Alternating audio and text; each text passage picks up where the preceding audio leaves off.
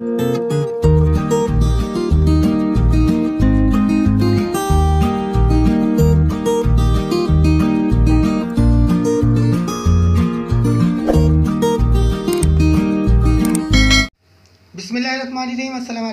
कैसे आप? आज हम आपको होममेड बिरयानी मसाला बनाना सिखाएँगे। तो चलिए इसे बनाना स्टार्ट करते हैं।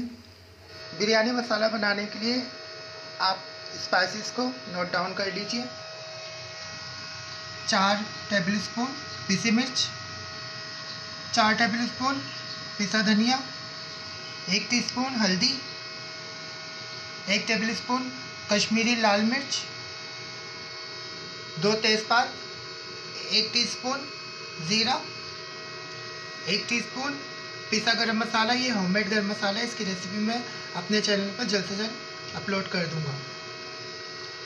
एक टेबल स्पून साबुत गरम मसाला।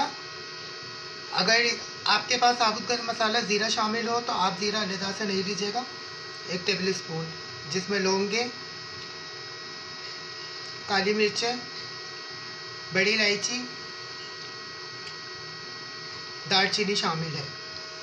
एक टेबल एक टेबल स्पून नमक छः से आठ अदद आलू बुखारा, एक टेबल स्पून पीसी सौंफ आठ अदद, सब्ज, इलायची, दो बादियान के फूल, हाफ़ टी स्पून जायफल जावित्री पीसी हुई तो चले हम इसे मिक्स करते हैं मसाले को।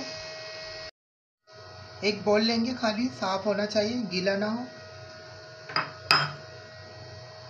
पीसी मिर्च शामिल कर देंगे इसमें। पिसा धनिया शामिल कर देंगे। कश्मीरी लाल मिर्च शामिल कर देंगे। हल्दी शामिल कर देंगे इसमें। गरम मसाला शामिल कर देंगे। तेज़पात शामिल कर देंगे। ज़ीरा शामिल कर देंगे। नमक शामिल कर देंगे।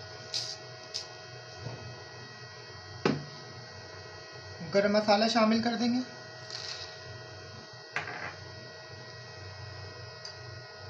जायफल जावित्री का पेस्ट शामिल कर देंगे, सॉरी, पेस्ट पाउडर पीसी हुई शॉप शामिल कर देंगे। बादियन के फूल और सब्ज़ी इलायची ये शामिल कर देंगे। आलू बुखारे शामिल कर देंगे। अब इसको अच्छे से मिक्स कर लेंगे तमाम मसालों को हम अच्छे से मिक्स कर लेंगे। तेज़पात के पत्ते आप चाहे तो टुकड़े करके डाल दीजिए। अच्छे से मिक्स कर लें मसाले को।